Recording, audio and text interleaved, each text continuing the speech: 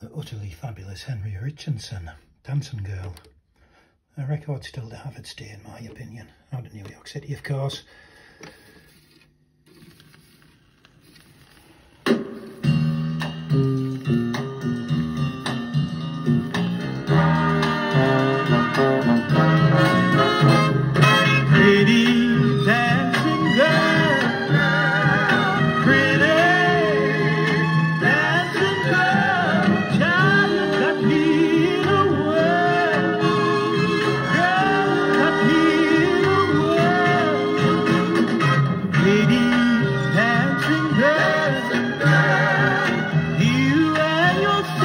Sexy